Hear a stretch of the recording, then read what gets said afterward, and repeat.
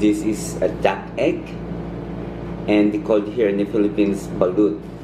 So this is 18 days chicks how to eat some balut. You put some salt on it still hot. So and if you want some chili is you just really need one balut a night and it's really good for you is equivalent for three eggs. So all you have to do as I told you before you just put some salt in it and drink the water. And I just want to show you up. This is 18 days chicks.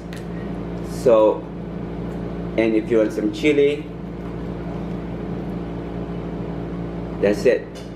So this how it looks like the duck egg for 18 days it's ready to actually this is the fetus of the duck egg.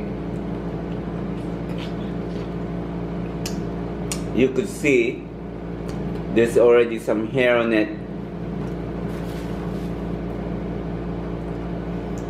And some balls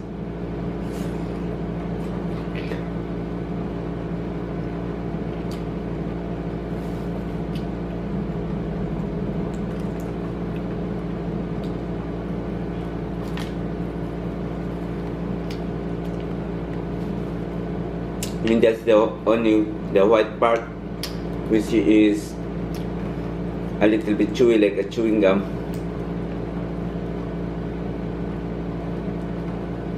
People don't usually eat this one but I still eat it. See as you could see the white egg for 18 days is just very small but if you eat usually the 16 days chicks it's only there's a big bigger white one.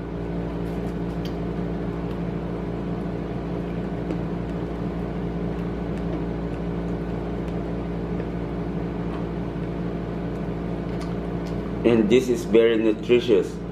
All you need to you have to have for a night should be only one but I had two for tonight